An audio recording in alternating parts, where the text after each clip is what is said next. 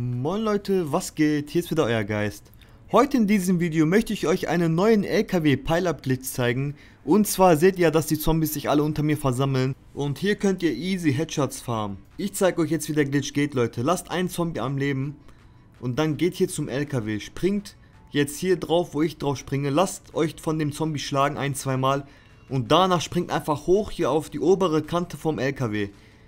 Und wenn ihr das dann gemacht habt, dann hört der Zombie auch auf euch zu schlagen und die werfen auch kein Fleisch auf euch und die sammeln sich jetzt alle gleich unter euch. Wie ihr seht, sammeln sich jetzt alle Zombies unter mir. Es kann aber jedoch sein, dass ab und zu mal ein Zombie sich verirrt und euch angreift. Aber sobald ihr ihn einmal anschießt, dann geht der wieder zurück zu der Horde.